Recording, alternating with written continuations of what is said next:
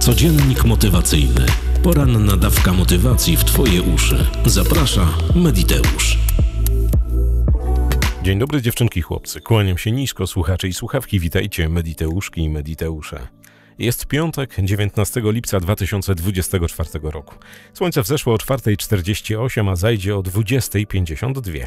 Imieniny obchodzą Radomiła, Makryna i Alfreda, solenizantom wszystkiego pięknie niemożliwego. Bo co możliwe, to i tak się spełni. Dziś dzień wczorajszego dnia. Motto na dziś? Nie ma nic stałego oprócz zmiany. Heraklit z Efezu. 344. wydanie codziennika motywacyjnego. Zapnijcie pasy. Odjeżdżamy. Dziś pytanie, które jest fundamentalne w ludzkim życiu, w szczęściu, w osiąganiu, w zdobywaniu, we wszystkim tym, do czego brną, pędzą, gonią ludzie. Dlaczego nie realizujesz swoich marzeń, swoich celów i planów? Dlaczego tego nie robisz? Wiele osób ma jakieś marzenia. Chciałoby na przykład wybudować dom, zmienić pracę, znaleźć miłość, wyjechać na drugi koniec świata, zwiedzić kawał świata, napisać książkę i zrobić pierdylion innych rzeczy, które w ich mniemaniu dadzą im szczęście, bo są ich wielkim marzeniem. A spełnione marzenie jest to najcenniejszy skarb, jaki można sobie wykreować na Ziemi. Oczywiście oprócz zdrowia, miłości i tych wszystkich rzeczy, które są blisko nas. Marzenia to jedna z większych ludzkich energii. Dzięki marzeniom mamy budowle, które nas otaczają, dzieła sztuki. Dzięki marzeniom mamy wynalazki. Dzięki spełnionym marzeniom miliardów ludzi przez wiele, wiele istnień. To są właśnie zrealizowane marzenia. Jednakże niewielu zdaje sobie sprawę, że te wszystkie zrealizowane marzenia, te czyjeś, które możesz podziwiać teraz, bez względu na to, czego dotyczą, to jest tylko 1%, 1% ludzi, którzy odważyli się, żeby zawalczyć o te marzenia, żeby je zrealizować, żeby je urzeczywistnić, żeby tylko li i jedynie nie pozostały w ich głowach pod zamkniętymi powiekami, tylko żeby nabrały materialności. Każdy z nas ma jakieś marzenia, jakieś cele, jakieś plany, każdy z nas by coś chciał. Jednakże bardzo wiele osób, naprawdę zadziwiająca większość, banuje na samym początku myśl o marzeniu. No bo na przykład ktoś ma pomysł, żeby wybudować dom. I pierwsze co robi, to przychodzi mu ta myśl, że ten dom by był fajny, ciepły, taki jak on by chciał. Ale przecież tego nie zrobi, bo nie ma pieniędzy. I na tym się kończy od pomysłu od tego, że ktoś by chciał mieć ten dom, na jego niezrealizowaniu, bo na przeszkodzie stoją pieniądze. I dokładnie analogicznie dotyczy to dziesiątków innych ludzkich marzeń, bez względu na to, czego one dotyczą, czy zmiany pracy. No przecież nie zmienię pracy, bo przecież nie dostanę innej. Koniec, kropka. Nie było żadnego szukania rozwiązania, nie było żadnego rozkminiania, co zrobić. Był po prostu dzwon od rzeczywistości. Nie zmienię, bo mam jakiś lęk, jakąś obawę. I, w, I właśnie w takim modelu działa większość ludzi na Ziemi. Dostają gonga od rzeczywistości, mają marzenie o domu, na przeszkodzie stoją pieniądze, odpuszczają, koniec. Chcą zmienić pracę, no ale przecież istnieje przekonanie, że ktoś ich nie zatrudni, więc nie zmieniają tej pracy. Chcą napisać książkę, ale przecież ktoś to słabo oceni, więc nie piszą tej książki. I tak można byłoby wymieniać bez końca. Dlaczego nie realizujesz swoich marzeń, celów, planów? Kto ci tego zabrania? Odpowiedz sobie na to pytanie. To pierwsze. A drugie, co zrób i o co cię proszę w piątek, w piąteczek, piątunio, 19 lipca 2024 roku, żebyś poddała się albo poddał się autorefleksji. Jest pewna metoda, która pozwala udowodnić tobie, bo ty będziesz przeprowadzał albo przeprowadzała ten proces, jakże nie masz racji w Twoich wyobrażeniach o tym, że coś jest nieosiągalne. Oczywiście zdaj sobie na samym początku sprawę, że wszystko jest osiągalne na miarę naszych, naszej wiedzy i naszych możliwości, naszego przekonania, no bo tak jak już mówiłem niejednokrotnie, jak ja sobie wymyślę dzisiaj, że zatańczę we francuskim balecie w środę, no to y, realizacje, szanse na realizację tego są mikre. A. Nie potrafię tańczyć i to niezaprzeczalny fakt. B. Moja waga 94 czy tam 3 kg obecnie raczej nie pretenduje mnie do baletu. I 3. Nie lubię baletu. Koniec, kropka. I nie jest to przede wszystkim moim marzeniem. Ale jeżeli masz marzenie, jeżeli masz jakiś cel, jakiś plan i z jakiegoś powodu odkładasz go, albo przez ograniczające przekonanie, albo przez lęk, albo przez cokolwiek innego, co oddala cię od realizacji tegoż, posłuchaj bardzo uważnie. Weź sobie kartkę, Najlepiej dużą. Weź sobie pióro, ołówek, długopis, cokolwiek. Zrób sobie coś dobrego do picia i usiądź wygodnie. Na górze tejże kartki napisz ten cel, plan, to coś, co chcesz osiągnąć, gdzie chcesz być, z kim, jak i tak dalej. Następnie wypisz, co stoi ci na przeszkodzie, żeby to zdobyć, żeby to osiągnąć, żeby to wdrożyć w życie, żeby to urzeczywistnić. Ale jedna bardzo ważna rzecz. Nie wypisuj tego na zasadzie chcę wybudować dom, nie wybuduję domu, bo nie mam kasy, koniec kropka. Do widzenia. Bo to nie o to chodzi. Zdaj sobie sprawę, że wybudowanie domu to jest dziesiątki, setki różnych kroków, różnych procesów. Zaczyna się od najmniejszego kroku. I prawdopodobnie jest tak, że jest też gradacja wyzwań i problematów, które stoją na drodze od momentu Twojego pomysłu od wybudowa- o wybudowaniu domu do jego urzeczywistnienia, czyli do realizacji. Pieniądze gdzieś są tam po środku. Na pewno istnieje coś w Twojej wyobraźni, w Twoim przekonaniu, w Twoim wnętrzu, co jest najmniejszym elementem, który należy wyeliminować, żeby poruszyć się o krok dalej, o krok do przodu w realizacji tego marzenia, czyli tutaj, teraz na potrzeby tego podcastu, budowa domu. Cóż to takiego? Co najmniejszego stoi ci na przeszkodzie, żebyś mogła albo mógł rozpocząć budowę domu. I dokładnie ten sam proces możesz powtórzyć w pierdylionie innych ludzkich marzeń, w pierdylionie różnych ludzkich wyzwań, tego, co chcesz osiągnąć, zdobyć, czy zmiana pracy, czy wybudowanie domu, czy nowe auto i tak dalej. Jest pewien proces, który zaczyna się od najmniejszej przeszkody, którą należy pokonać, wyeliminować, od najmniejszego problematu, który należy znaleźć rozwiązanie, aby go ominąć, wyeliminować, załagodzić. I dokładnie w, tym, w ten sposób postępujesz z każdym następnym, bo w ludzkim życiu nie jest tak, że jeżeli masz marzenie o domu, o samochodzie, o pracy, dostajesz gonga, od rzeczywistości na podstawie jednego przekonania, na przykład nie mam pieniędzy, nie zatrudnią mnie, albo tam zbankrutuję, albo cokolwiek, to tak nie działa. Tak robi ludzki umysł tylko wtedy, kiedy nie chce tego robić. Zdaj sobie sprawę, że 1% ludzi, 1% ludzi osiągnęło, zdobyło i doszło do pewnego momentu w życiu, do pewnego sukcesu, do pewnego spełnienia, do otrzymało, zrealizowało, zmaterializowało. Wiesz dlaczego? Dlatego, że dokładnie tak jak w Twojej głowie, najpierw powstała myśl na zasadzie, że fajnie byłoby coś tam. I tutaj sobie zilustruj jakieś marzenie, czyjeś. Następnie ten ktoś szukał rozwiązania, co zrobić, żeby to marzenie urzeczywistnić. I uwierz mi, tak samo jak u ciebie, tak samo u tych miliardów ludzi na całej Ziemi, u każdego z nas, u każdego, kto zrealizował jakiś swój cel, osiągnął jakieś marzenie, zrealizował, było ileś tam stopni schodów, problemów, problematów, wyzwań. Ale to marzenie jest urzeczywistnione nie dlatego, że ktoś miał szczęście, że ktoś miał, nie wiem, natarł się ziołami, że ktoś należał do Avonu albo przeczytał trzy książki, y, nie wiem, o Harrym Potterze, tylko dlatego, że ktoś konsekwentnie i z determinacją eliminował wszystkie przeszkody, które stały na drodze do osiągnięcia tego spełnienia. To jest właśnie ta różnica tego jednego procenta ludzi, którzy osiągnęli, zdobyli, doszli, a tymi, którzy całe życie mają w głowie marzenie, jednakże nic z nim nie robią. Ci pierwsi wymyślili, wymarzyli, wyśnili coś i w końcu zaczęli to robić. Odpowiedz sobie na pytanie, kto ci zabrania tego robić. Kto stoi z pistoletem kałasznikowa, czy tam karabinem, nie wiem jak to się nazywa, albo z halabardą, albo z siekierą lub maczetą i mówi ci, obetnę ci głowę, albo zastrzelę ci w momencie, kiedy będziesz chciała albo chciał rozpocząć realizację tego planu. No istnieje 99,9999 po przecinku, że nikt.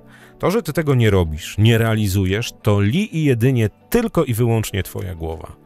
Twoje przekonanie i twoje widzimisię. Dajesz całą swoją uwagę temu, że się nie uda, nie wyjdzie, nie chcesz, nie masz pieniędzy i tak dalej, i tak. Osiąganie celów, zdobywanie, otrzymywanie to w większości przypadków eliminowanie drobnostek, które stają na Twojej drodze. Oczywiście one będą rosły, no bo logicznym jest, że jeżeli wróćmy tutaj do budowy domu, wymyśliłaś albo wymyśliłeś sobie, że chcesz wybudować dom, to będą małe, maluteńkie problematy na samym początku, ale im dalej w las, tym większe one będą, no bo tak jest w ludzkim życiu. Ale z drugiej strony, jak marzysz o domu i chcesz zobaczyć, jak ktoś urzeczywistnił swoje marzenie o domu, to sobie pójdź na osiedle domów jednorodzinnych, stań i rozejrzyj się wokoło. Obiecuję ci, że w tych wszystkich domach, które będziesz widziała albo widział naokoło siebie, nie mieszkają jaszczurki, salamandry plamiste, owczarki alzackie, delfiny, foki albo pustułki. Mieszkają tam ludzie, którzy wymyślili pewnego dnia, że chcą mieć dom mają marzenie o domu.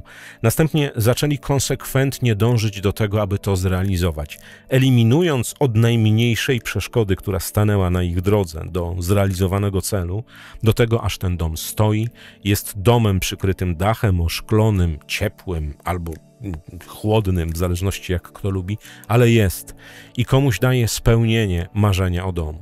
I dokładnie tak samo dotyczy to napisanych książek, pięknych zdjęć, namalowanych obrazów, odbytych podróży po całym świecie.